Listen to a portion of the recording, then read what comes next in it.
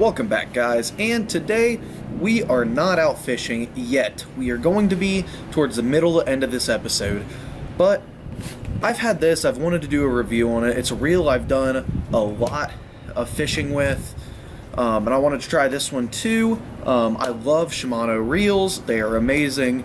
So I ordered this. So we are going to do a review on this today, and well, a little bit of an unboxing and review about this reel, and go fishing with it, show you guys it in action, and then, yeah, we're going to hopefully catch some fish on it. Um, got it on one of my newer rods, one that I still haven't caught any fish on yet. So, yeah, we're going to go over it, show the reel, show the specs on it a little bit. Um, show we'll go through with how I like it and everything, how it feels and everything while I'm out fishing, and go from there. So, with that being said, this is the Shimano SLX DC 150HG. Now, this is my this was my first DC reel I've ever owned. Um, I've always wanted one because they sound. I've heard they sound sweet when you um, cast them, and that they're really smooth, and that the DCs are just awesome in general. So that's why I got this reel. Um, so this is my second time opening it. So when we open this up, comes with the reel inside all the bubble wrap, of course. Um, so there is the reel.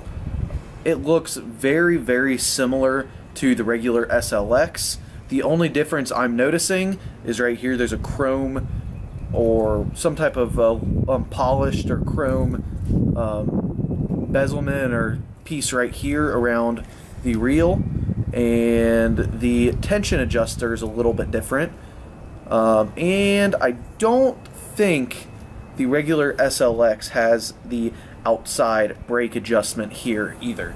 Um, so that's really the difference that I see when just looking at the reel. Of course, you can hear the chip when you spin the reel fast. Um, and just feeling it, it is a lot smoother than the regular SLX. Um, here, after I get done unboxing and reviewing, like doing an initial impressions and everything on this reel, I'll grab my regular SLX once I get this um, spooled up and on a, a rod, and I'll kind of go over a look at both the regular SLX and this SLX DC. Um, this is a 7 2 or 7.2 to 1 gear ratio, the exact same as my regular SLX. And I believe it said it was a 4 plus 1 bearing. Yep, it's 4 plus 1 bearing, 7 2 to 1 gear ratio. Um, other than that, there's not too much on here that really matters much to me. Um, yeah, there's the line specs and stuff like that, but um, in general, I mean, I don't really look at the line specs that much because I just already know what line I'm going to put on this, and I don't really care about that. Um, I order reels accordingly based off of if I need a deep spool or shallow spool for it. So yeah, there is the reel. I'm going to throw it right there on top of the um, bubble wrap. And that it also comes with um, oil. This brand name, Bantam oil or Bantam oil. So comes with a little bit of oil in there, which is nice. And then um, last thing that comes in the package is the complete parts sheet. So yeah, well, there's an owner's manual too, or instruction guide, and then a complete part sheet for this reel. So I'm excited for this reel since it is my first DC reel. Um, I can't wait to use it. So I'm filming this the night before we're going fishing.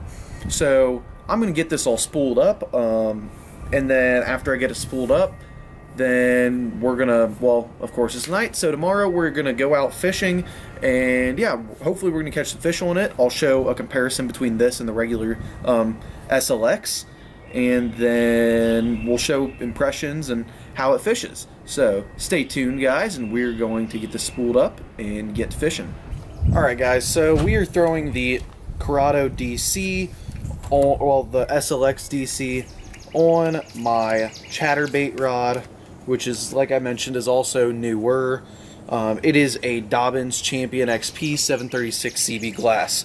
So as you see, the reel matches perfectly, and that's one thing that I always make sure I do with my reels, rods and reels, is I always like them to match. So it definitely matches perfect on this rod, and yeah. Um, So the line that we are going to be using for this, which actually I need to run inside to grab tape real quick, is uh, Seaguar Red Label. Um, I just had a little bit left over. It's 15 pound. Um, and I figured this will probably be enough left. If this isn't enough, then I'm, I've got a Sufix Siege down in my boat for 14 pound that I'll just throw on instead. I know I have enough of that, but I wanted to get rid of red label, and I would prefer to have fluorocarbon on this instead of monofilament, um, just so if I'm fishing deeper with crank or with uh, chatterbaits, or if I'm cranking, because I'm also going to be throwing deep, deep diving crankbaits on here, like 18, 20, 22, 24 foot diving crankbaits. So if I'm fishing with that, I would rather have fluorocarbon. So this is the line I'm going to be throwing on. I've got other rods right here that I'm going to be setting up too. So yeah, I'm going to skip all this part because it's just boring stuff of putting new line on a reel. And I mean, most people know how to do that. If not, let me know and I mean, I'll make a video on it for you if you really want me to. So, yep, I'm going to get this all set up and we will see you guys in the morning when we are heading out to the pond. All right, so like I said, here are both the reels. On my right hand, with the lipless on it is the regular Shimano or the Shimano SLX. And then right here with the chatterbait is the SLX DC. As you guys can see, I think you guys can probably see there. Um, on the side, the only difference is the um, braking system. On the side, you have the actual dial on the DC. At the top, there really isn't much of a difference. On this side, the only difference is the tension knob and then the chrome um, bezelment or whatever it is around the reel on this, and then there's a black one around this side. Other than that, they look almost identical to each other. Tomorrow, we are going to head out to a pond, and haven't caught a fish on this reel yet, or this rod, so we are going to go to the pond, use this setup um, for the most part, and try to get a bunch of fish on it, um, get a good honest opinion and review about this reel, and go from there. So we'll see you guys tomorrow when we get on the water. Well, we just got here and this water is extremely clear. This real smooth. Like really smooth.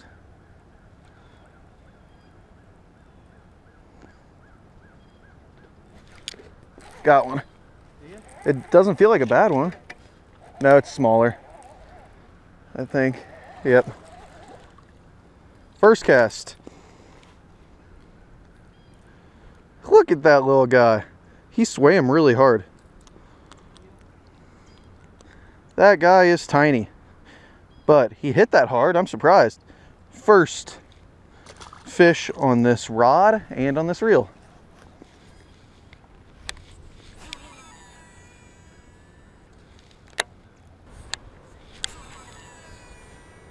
I love the way this reel sounds.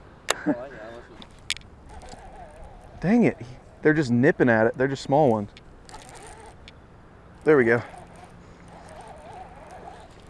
It's a little better than the first one. Barely. Oh!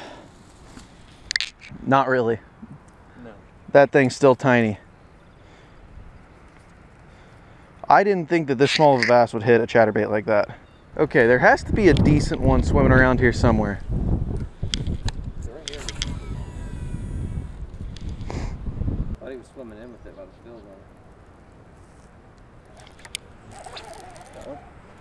Yep, another small one. Dude, these guys, I forgot how hard these guys fight for how small they are.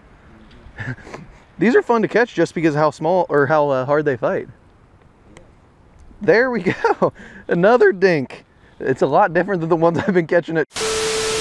I am extremely happy with how this thing's casting. What? Yep. That's a little bit better than the last one, I think. He's just water skiing across the top. Maybe not any better than the other ones. Why are there so many freaking small bass here? All right, guys. So initial impressions and everything and like review about this reel. It casts extremely far. I'm casting a lot farther than any of of any of my other reels that I have. The rod, I love it so far. It's got great sensitivity. Um, you can feel every little tick of the chatterbait on it. Um, this is a Strike King um, Thunder Cricket that I've got on here. And yeah, I love this combo so far. I highly recommend this reel so far. We're going to keep on doing videos on it to go over uh, how I like it as I use it more. It's going to be used a ton. I can tell you guys that right now.